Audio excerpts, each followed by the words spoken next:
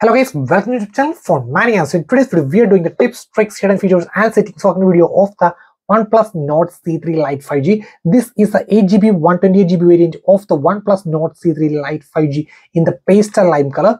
Okay, so let's start from the most interesting tip. By default, this phone comes with the Google Dialer. That means while you try to record any calls, both parties can hear this call is now being recorded. But no worry, just go to your Play Store and download O Dialer from the color, color OS. So just download this application. So I will show you the application once again. This is the O Dialer application. You should download this from the Play Store and just open this app and it will be asking for to set this app as your default. So just okay and uh, change your current uh, Google Dialer to the O Dialer and just set this as default and allow the permissions and then you are good to go. Now it have the by default itself the call recording feature. You can see call recording and you can see record specified numbers or you can add those number which you want to record and then along with that record all calls auto call recording would be enabled for all calls without any announcement for your oneplus nord CE 3 lite 5g next is another interesting tip. So currently the phone is off. I'm just drawing an o over here. O and you can see instantly the camera opens. And now let me draw a v over here v. Now you can see instantly the flash is turned on. So let me off my phone. And if i draw an m over here m. And you can see instantly you can see it goes to my files. And if i draw a w and you can see it instantly went to the youtube. How to set this up? So first of all let's go to settings and scroll down to find this option edit settings and over here you need to go to the gestures and motions and over there you can see screen of gestures. This is the one which i'm playing around. So these are the features. Draw o to open camera turn it on. Draw v to turn on the torch just turn it on. And we have double tap to turn on or off the screen just make sure you turn it on. And then apart from that you can same way you can control music while by drawing the next arrow left arrow previous music next music and all. And then apart from that you can customize three of your favorite actions. So draw this arrow open an app. You can set it to any of the app which you like. If you're a gamer you can set these three of them. And if i uh, select draw m and i am currently assigned to my files so you can set it to any others. So if you need maps and let me just close. And if i draw m. You can see it instantly went to the map apps application. So that is really convenient and you can also assign w and you should turn on to activate this feature. So first of all you open an app and select your app and just turn it on. So that is really easy. And apart from that we have few more options like taking a screenshot just a three finger down would be taking a screenshot that's got it. And if you want to partial screenshot that means only you need this much portion. That means this portion might contain some confidential data and you don't need to share. So then no worry just press and hold with your three fingers over here like this. And you can see instantly a draggable area appears and drag the area which you need. See just click click or if you write want to write something just write over here write and it's done and just click done. So instantly you can write it up on like an s pen on the galaxy android. So it's really convenient. Next is another feature which works like magic. I'm gonna unlock my phone without pressing any buttons. I'm just you can see i'm just lifting up my phone and that's it. It instantly went to the home screen. How to set this up? Just go to settings and then just scroll down to go to uh, edit settings and just turn on uh, the raise gestures and motions and then just turn on raise to wake. So this is the first option you need to make sure and then go to the passwords and security and turn on the face and uh, enable your face unlock and set up your face unlock and all. Then enter home screen after unlocking. You should turn it this on. What happens is whenever you lift up your phone instantly the raise to wake on and it instantly went to your lock screen. And whenever you are on the lock screen it recognizes for your face and when the face is recognized enter home screen after unlocking is turned on. So it instantly went to your home screen. That what that is what happens when you just place your phone and just picks it up instantly went to home screen. So that is really nice. Next is regarding you can see i'm currently using this button navigation which is outdated. So just i'm going to switch to gesture navigation. So first of all just scroll down to find the system option. So edit settings and then tap on the system navigation just tap over here and then you should change from buttons to gestures. And just cancel for the moment right now. And you can see just for the back either swipe on the right edge or the left edge for the back. And for the home just swipe up. Can instantly go to the home. And for the reasons just swipe up and stop at the middle. That is really really convenient. And uh, i'm going to show you how to switch between the apps. That is the best part that is like scrolling through the photos in gallery. So you can see so messages uh, chrome gallery phone. So this is it switching between the apps. So this is really convenient. You should enable this gesture navigation if you're really comfortable with that. So again going to the settings and system navigation. And apart from that you can see uh, if you need to go back to the previous bar then there is also an option switch to the previous app. That means currently i'm using settings. So if i need to switch between these apps the phone settings settings phone then all you need to do is just press and hold like this. See goes back to dialer if I press and hold again goes back settings. Press and go settings dialer settings dialer you can see you can switch between the apps without doing this stuff or without just scrolling. So that is also available over here.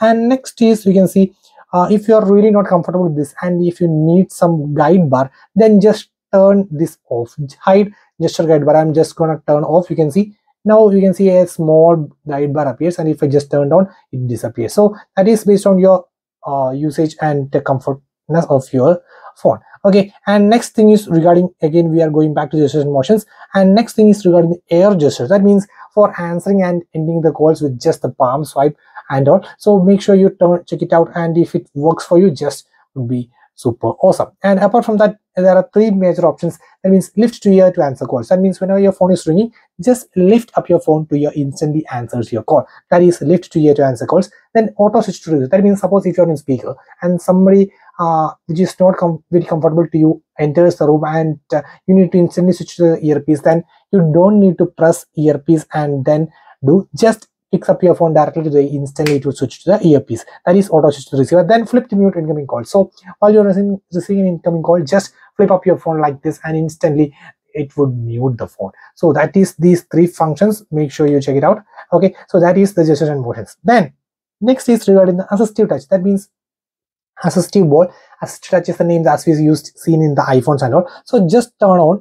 So you can see a ball that this this is the assistive ball so you, can assign it two set of functions either gestures function that means you can just tap for one function double tap for another function and all double tap. See it acts like that. Or you can just assign in another way that it means tap menu. So once you tap you can have five of options over there. But actually i think this is not really good because actually it has only limited options. We can't customize much. So you can see you can very limited options just have go back home screen reasons notifications lock screen one hundred and more and all. So i it is based on your preference if you really like this just turn it on. But instead i will show you another very interesting one that is in the special features. Just turn this on smart sidebar. Just turn it this one on. And you can see instantly you can see a sidebar over here. Just swipe like this.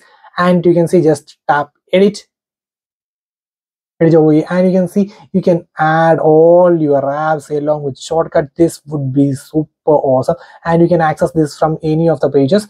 So you can see all the items is added. So suppose you are in chrome doing some stuff and all like this. No thanks okay so you are in chrome doing some stuff and meanwhile you need to go to another application just do a swipe like this on the area and you can see instantly goes to any application. So if you need my files just tap over here. Instantly it opens in a window that not distracting the current window currently i'm using chrome chrome. It is not distracting my chrome. Along with that i can use see i can drag it anywhere on the screen and i can even resize.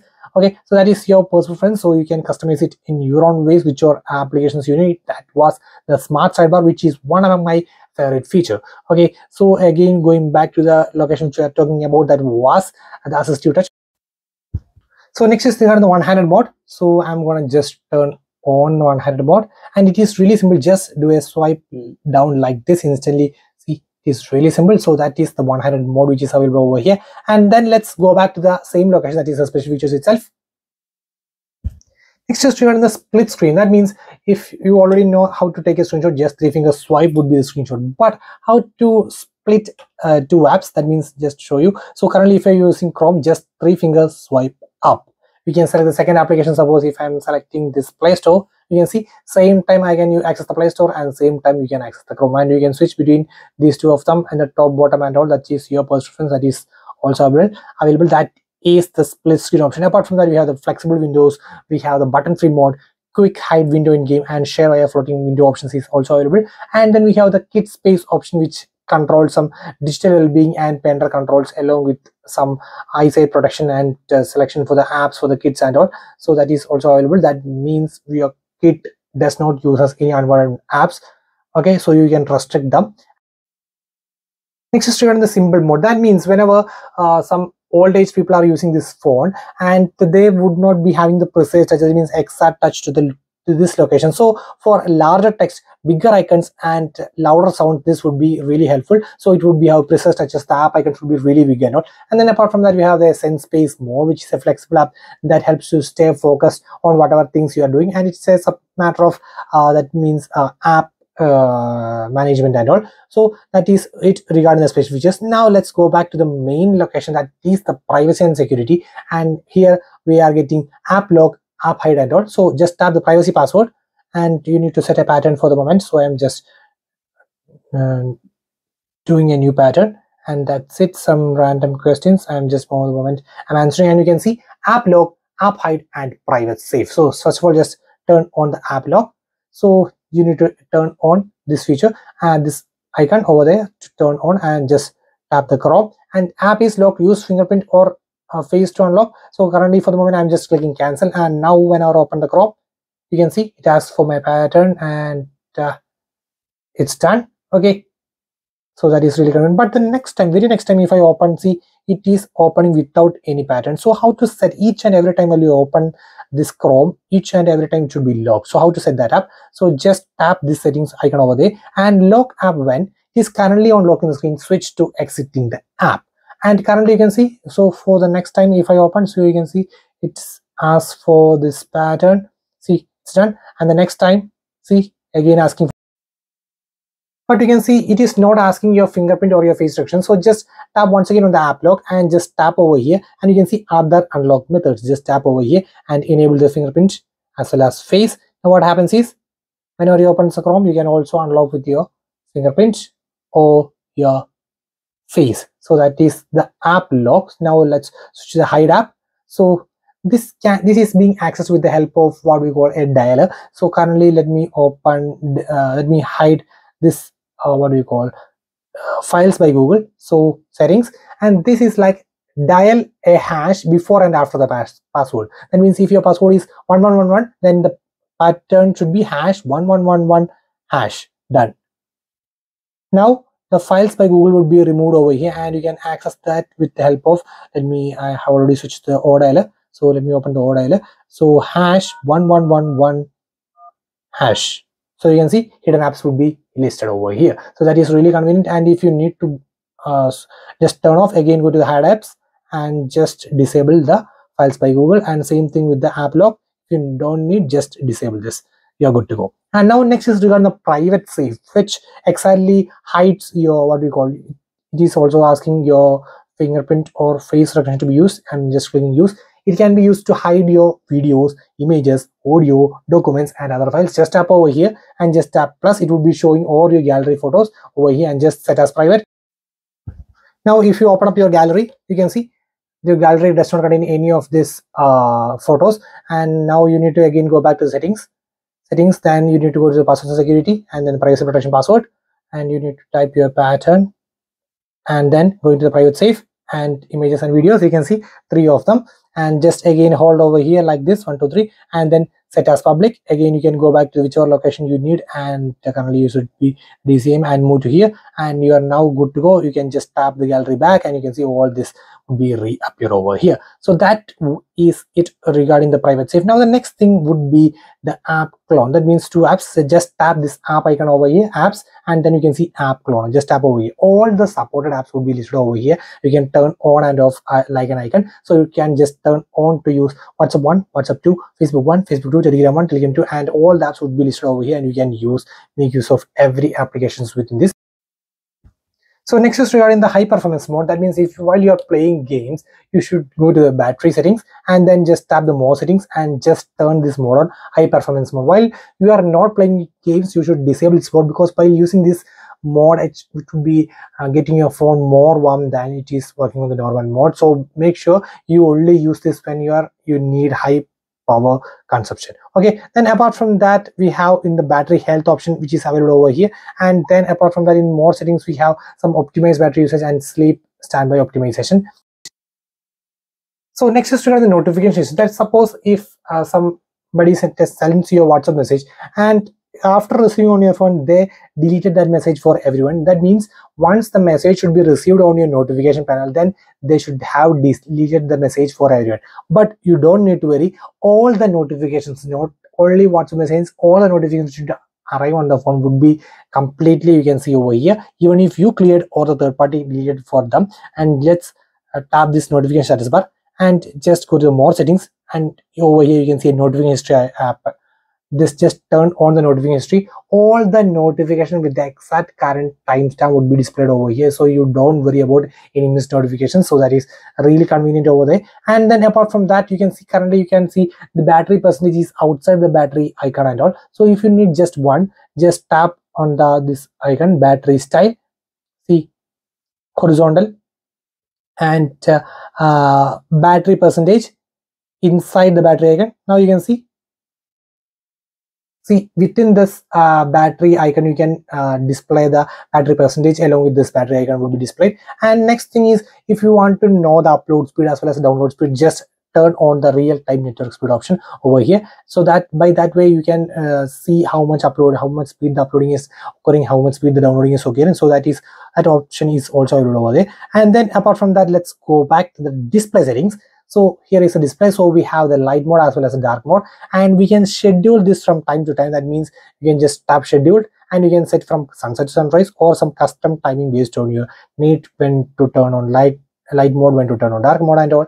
And then apart from that we have the screen color mode. We have two options. One is vivid and one is a natural display. I would keep it on the vivid as default would be really nice. And we have some screen color temperature can be adjusted based on cooler warmer or by default settings. And then apart from that we have eye comfort mode. Especially this should be used for the persons who uses your phone in the night time in your room without any extra light. So that may harm to your eyes and uh, this mode even comforts you better. So that was the eye comfort mode. And then we have the font options over here. You can see adjust the font size font style and all. And then apart from that we have the display size which can be also adjusted. And uh, next is the screen refresh rate which is standard is 60 hertz.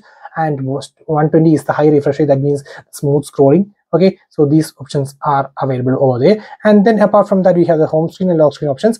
We are starting off from the swipe to swipe down on home screen. Currently if i swipe down on home screen you can see some oneplus shelf appears which is really annoying but you can just reassign to the notification panel which is really convenient. So just tap over here uh, swipe down on home screen just tap switch to the notification right now what happens is just swipe down instantly you can access the notification. So that is really convenient over there. And then apart from that we have a few options like recent task manager. So if you look at the recent task manager it does not show how much ram is being used and all. So just tap over here recent task manager display ram information. Now what happens is you can see 2.95 GB available out of 8 plus 4 GB. So what happens, how this is at 8 plus 4 GB, you can also set up to the maximum 8 plus 8 GB. So first of all, just go to the about device and just tap over here and you can see expand the RAM by 8 GB. When you are while you are switching to 8 GB, it will be using that 8 GB from your internal storage. So those who are extremely heavy users, then you can make use of this extra RAM expansion. This I would be saying this is half baked feature, but still it is happy to have that feature. Okay, so that is it. Let's go back to the same location which we are discussing about. That was the home screen and lock screen. And then apart from that, we have this home screen mode, which can be have the drawer mode. Drawer mode means with the app launcher. Standard mode means just a classic view, does not does not having the app launcher at all. And then icon pull down gesture. So if I just turned on, what happens is, so if I am having, so currently I'm not having much of icons. Let me show you how this guy works. So I'm just reassigning some apps to the end and all you need to do is just do like this. A uh, swipe up like this and you can see this is icon pull down just. That means you can see all the icons on the top would be now over here. So that is really convenient. So just do a random swipe like this. Instantly all you can access this application. So that is icon pull down gesture. Just again go back to the home screen settings. So that was it over there. And then apart from that we have the double tap to lock option which is also over here. Just make sure turn it on. And then if you need you are customize this your home screen in a really good way and you don't need anyone to interfere or change the layout and all then you need to go to the home screen settings and then uh, you can see lock home screen layout. Now no one can see home screen layout is locked. Unless you just unlock it won't be changing your applications or and all. So next is regarding uh, like a third party launcher. So just press and hold over here and you can see uh, some icons so let me uh, just turn off that feature. That means uh, the lock home screen layout. And now let me show you. So you can see some icons. Here you can see some icon styles and all. So you can see icon styles. You can change the icon styles and all. And you can uh, see icon sizes app name its sizes and all.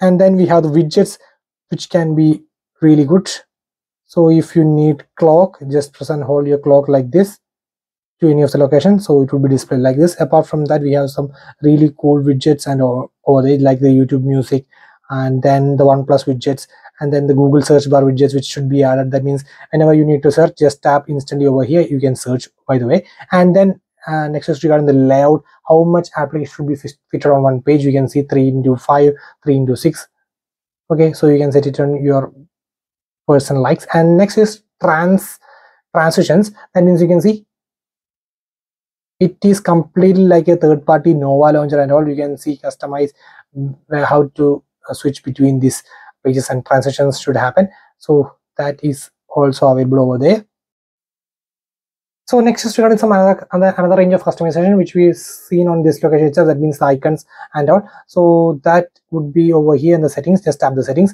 Just tap the wallpaper and style. So here is the font sizes which we can change. Icon style which we already discussed. And then we have the colors.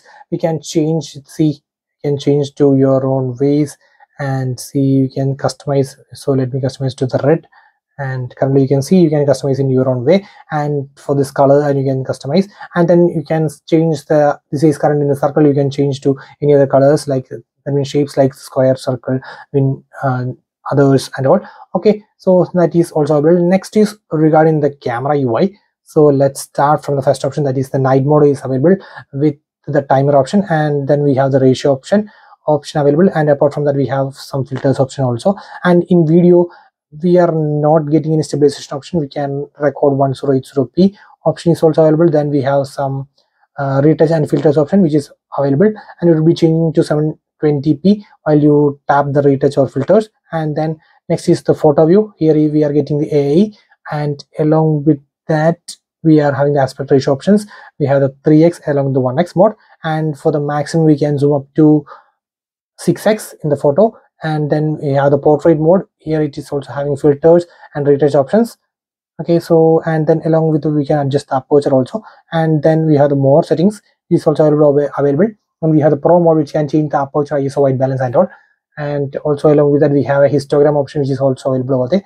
And uh, along with that this is a dedicated 108 MB camera. So you can make use of the maximum extra HD option to make use of 108 MB mode. And then along with that we have panoramic mode macro mode which takes the close-up of small subjects as well. And then we have the slow motion time-lapse dual view video which makes use of front camera as well as the back camera uh, at the same time. Then we have the text scanner option which is also available. So these are the main tips tricks hidden features and settings of the video of the OnePlus Nord CE 3 Lite 5G. So guys, that's it for today. Signing off, it's Phone Mania.